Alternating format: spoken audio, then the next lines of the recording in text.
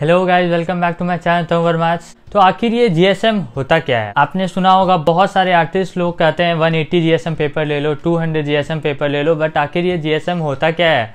तो आज ये वीडियो इसी पर है कि ये जीएसएम आखिर है क्या? जीएसएम एक पेपर में क्या होता है? और हम आज साथ ही साथ कुछ अनबॉक्स करेंगे पेपर जो कि 200 GSM की है तो मैं आपको कुछ डिफरेंस भी बता दूँगा। 100 GSM, 200 GSM, 60 GSM, 130 GSM में डिफरेंस क्या होता है? तो अगर आप एक बिगनर हो तो इस वीडियो को ज़रूर लास्ट तक देखना। बहुत हेल्पफुल रहेगी आप लोगों के लिए। लेट्स को G S M stand for gram per square metre अगर आसान शब्दों में कहें तो पेपर की जो वेट होती है उसे हम जीएसएम कर सकते हैं। इन शॉर्ट जो पेपर की मोटाई होगी कितना थिकनेस होगा, वो जीएसएम ही हमें बताता है कि एक पेपर कितना मोटा होता है। क्योंकि वाटर कलर पेपर्स के लिए 300 जीएसएम परफेक्ट होता है एंड फॉर स्केचिंग 200 जीएसएम या 280 जीएसएम भी आप ले सकते हो। मैंने जब स्केचिंग स्टार्ट किया था तो मैं 60 जीएसएम के पेपर पे बनाता था, जो जिसे आप प्रिंटर पेपर बोलते हो, वो 60 जीएसएम की होती है। तो मैंने उससे स्टार्ट किया। तो ये कुछ था GSM in short I hope आपको ये समझ में आ गई होगी कि जीएसएम आखिर होती क्या है। तो चलिए अब देखते हैं अनबॉक्सिंग ऑफ़ मैं पेपर और मैं कंपेयर भी करके दिखा दूँगा डिफरेंट डिफरेंट जीएसएम की पेपर के साथ। ये 210 जीएसएम के आइवोरी सीट्स है ए फोर साइज़ की तो मैंने इसे फ्लिपकार्ट से परचेज किया है। तो मुझे इसमें टोटल टू सिक्सटी रुपीज़ लगे। मैं इसके लिंक डिस्क्रिप्शन में दे दूँगा, आप Flipkart as well as Amazon से इसे परचेज कर सकते हो। तो चलिए इसे अनबॉक्स करके देखते हैं। जनरली तो मैं हमेशा ड्राइंग बुक में ही बनाता हूँ बट इस टाइम मैंने सोचा कि कुछ न्यू करना चाहिए, थोड़ा डिफरेंट होगा। तो एवरी सेस मैंने परचेज़ किया। काफ़ी रिसर्च की मैंने कि एवरी सेस कैसे होते हैं। तो परफेक्ट लग रहा था स्केचिंग के लिए। तो मैंने सोचा let's give it a try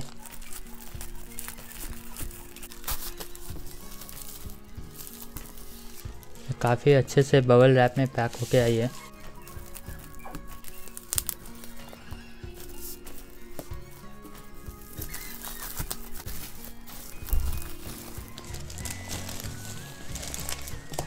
इसके अंदर दो सीट मिल जाते हैं इस टाइप्स के। तो चलिए इसे बाहर निकाल के देखते हैं।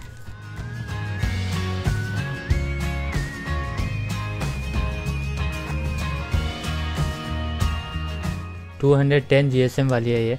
ऐसे तो फील करोगे तभी पता लगेगा कितना ये इसका थिकनेस है बट ये काफ़ी मोटे सीट्स होते हैं। अब आगे से जो मेरे स्केचेस आएँगे, वो मैं इसी पेपर पे स्केच करूँगा। तो देखते हैं इसकी क्वालिटी कैसी होती है। आप नेक्स्ट वीडियोज़ में ज़रूर देखेंगे इसे।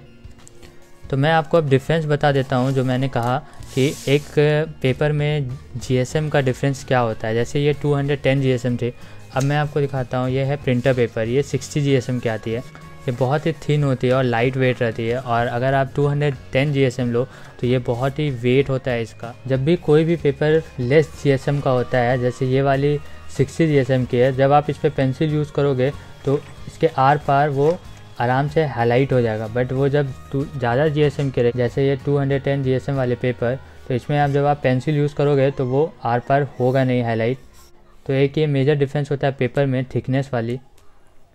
अब मैं आपको दिखा देता हूँ, पहले मैं किस पे ड्राइंग करता था। पहले, सबसे पहले स्टार्टिंग में तो मैंने प्रिंटर पेपर पे अप्रॉक्स हंड्रेड या टू हंड्रेड पोटेज बनाए होंगे। देन देन मैंने परचेज़ किया था 130 थर्टी वाली pro sketcher Anupam Anupam brand की, ये इंडियन ब्रांड है, काफ़ी अच्छे स्केच पे हो जाते हैं। आप देख लो, ये सारे वीडियोस भी मैं देख चुका हूँ ऑलरेडी इस पर मैंने पेंटिंग भी की है। पेंटिंग के लिए इतना अच्छा पेपर है नहीं ये वैसे बट ओवरऑल मैनेज हो जाता है पेंटिंग में। देखो, मैं आपको बता दूँ कि एक पेंटिंग में जो जीएसएम होता है, उसका क्या वैल्यू होता है? पेंटिंग में जीएसएम की वैल्यू ये होती है कि जब आप पेंट कर रहे हो तो आर पार पेंट हो ना जाए। आई I मीन mean, मैं आपको बताता हूँ इस तरह। जैसे मैं इस पर पेंट किया तो जो भी वाटर इस पर जाएगा तो वो हाईलाइट हो जाएगा तो पीछे जो है पेपर पफ पफ जैसा हो जाएगा। वो पीछे से हाईलाइट होकर फुल जाएगा। तो पेपर एब्जॉर्ब कर लेता है वाटर जिसकी वजह से ऐसा इफ़ेक्ट आने लग जाता है। ये वाली है 140 फोर्टी की। तो ये मैंने परचेज़ किया था फ्लिपकार्ट से। ये कुछ ज़्यादा हैपनिंग पेपर है नहीं मुझे कुछ ज़्यादा अच्छा लगा नहीं। तो मैंने इस पर बहुत कम स्केच बनाए हैं अब तक। मैं ज़्यादातर ये प्रो स्केचर ही पहले यूज़ करता था क्योंकि ये बहुत ही इफ़ेक्टिव भी है। अगर आप बिगनर हो तो मैंने ये वाली फ़ाइव कॉपी अब तक ख़त्म कर चुका हूँ। पेंटिंग के लिए मैं ये वाली यूज़ करता हूँ ऑक्सफोर्ड की है। तो इस पर भी मैंने बहुत सारी पेंटिंग बनाई है। ये 180 और आ, शायद 160 जीएसएम की पेपर है।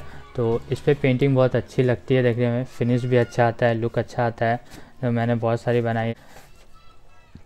सारी पेंटिंग के लिंक मैं डिस्क्रिप्शन में दे दूँगा, आप वहाँ से देख लेना।